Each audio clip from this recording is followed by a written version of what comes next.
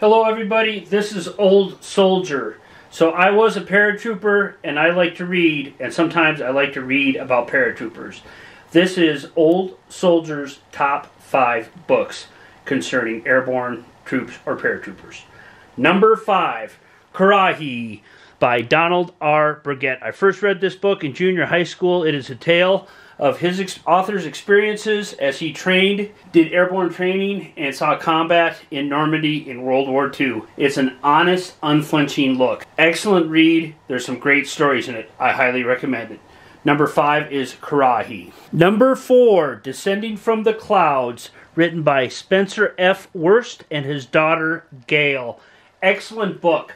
I just recently found this in a used bookstore. I had not heard of it previously. Spencer Wurst served as a teenager in the Pennsylvania National Guard and eventually found his way into the 505 Parachute Infantry Regiment of the 82nd Airborne Division and made three combat jumps in World War II.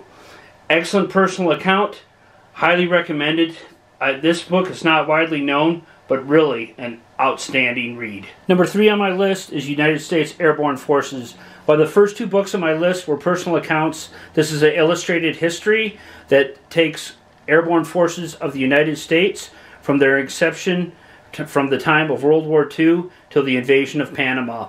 Can be a little dry, but very richly illustrated, lots of photographs, well written. Number three on my list United States Airborne Forces. Number two on my list of books about paratrooper is no surprise titled Paratrooper by Gerard M. Devlin. Excellent book.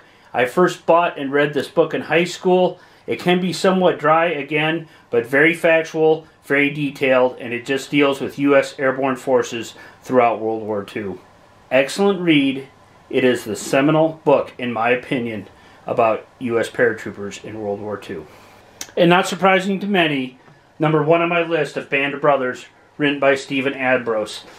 Ambrose Chronicles, Easy Company, 506, 101st Airborne Division in World War II. Interestingly enough, Currahee, my number five pick, was A Company, 506, 101st Airborne. Today, in today's parlance, the difference would be 2nd Battalion and 1st Battalion of the 506.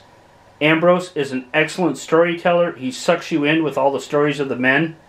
There is a very good reason why HBO did a 10 part series based on this book, is because it's an excellent story.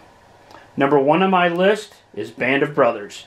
And that's my list, and this is Old Soldier's top five books about paratroopers. This is Old Soldier out.